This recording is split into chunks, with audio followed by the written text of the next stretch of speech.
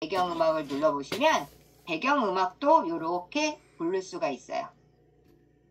음, 그 다음에 옆에 가면 효과음 요것도 좀 바꿔서 넣을 수가 있어요. 효과음 그 다음에 이렇게 하면 적용 범위를 누르면 볼륨 음악의 볼륨 이런 것도 나올 수 있다. 이렇게 해서 이렇게 갖고 삽입하면 아 나올 수 있다. 효과음도 때르릉 때르릉 캐셔 뭐 이런 것도 나오고 이렇게 나온다는 거.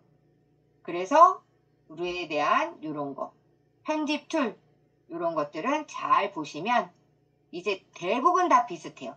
제가 캔바 설명할 때도 비디오 스튜디오 설명할 때도